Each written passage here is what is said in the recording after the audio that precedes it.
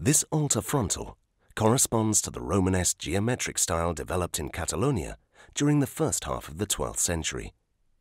From the parish church of St. Martí in Puigbò, next to Puigbò Castle, El Ripollès, in the four compartments we have scenes from the life of St. Martin, Bishop of Tours and titular saint of the church. St. Martin on horseback shares his chlamys with a poor man. The holy bishop resuscitates a catechumen who has died before being baptized, the scene of the death of the saint, and two angels taking the saint's soul to heaven.